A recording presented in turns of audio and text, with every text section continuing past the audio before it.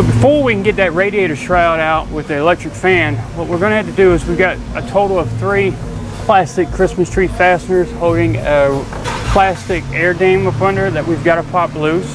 So we get up in there with our little tool that we've been using already to try to get the front off.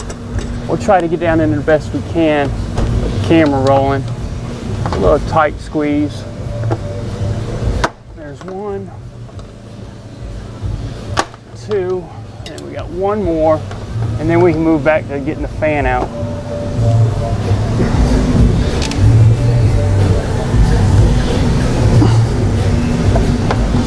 This one will be a little difficult. And there we go. We got all three loose. Now we can go ahead and drop the vehicle back on the ground or crawl back up on top, whichever you're going to be doing. And we'll get the bolts out for the fan. All right, so now we're back to the top of the engine compartment and we're gonna work on getting the shroud out. It's got the electric fan. And you got one main connector for electric fan. You just gotta squeeze in on the lock and then slide the connector off, sit to the side. Now it's held in place with two eight millimeter bolts. You can find them directly up under the radiator neck over here, as well as directly up on the radiator hose up here. I'm gonna go ahead and start getting them off. Now the bottom of the fan sits in a little track so that's why it only uses two bolts. The bottom of the track actually holds it in place.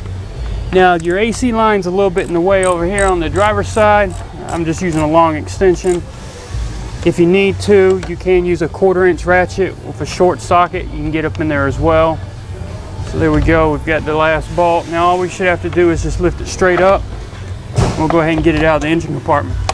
So there you go, if that's you taking your fan off, you've got your fan, getting ready for your replacement fan. All you're gonna do is line it down in there. Make sure the bottom two go in the little groove. And then you're gonna line it up, put your bolts in, hook your connector up, and go ahead and reinstall the uh, air box as well as the upper plastic shroud and the lower.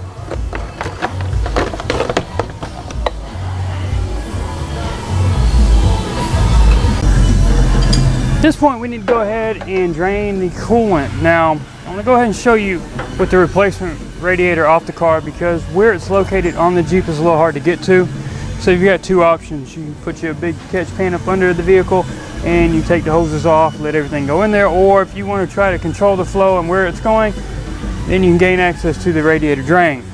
Radiator drain is just a basic screw out, kind of a corkscrew style.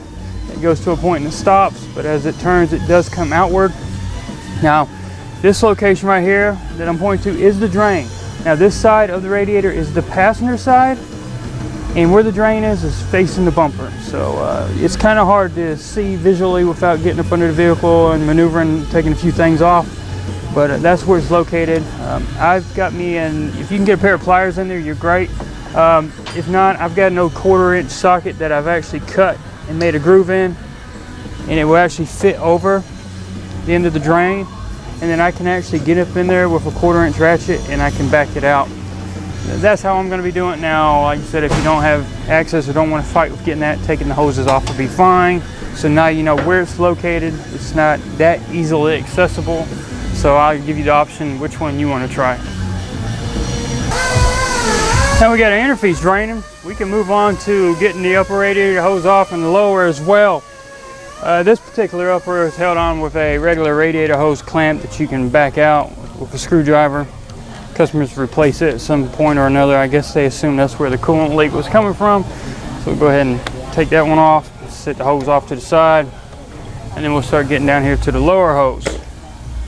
Now, on the lower hose, you got a spring-loaded clamp. I'm just using a regular spring-loaded clamp remover. Go ahead and get up on here. You can use a pair of pliers if you want. These just hold on better.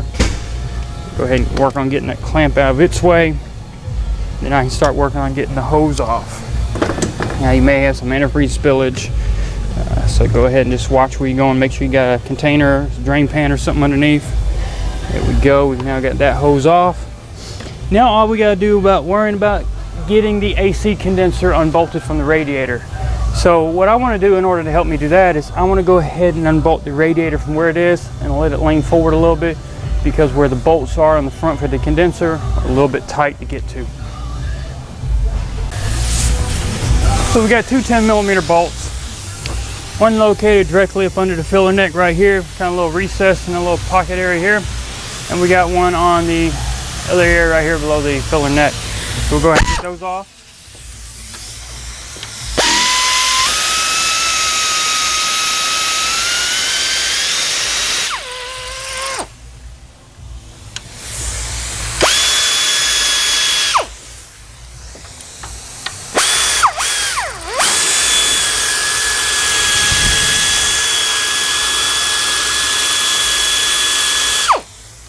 Now the way the radiator mounts to the vehicle is basically like that electric fan shroud was.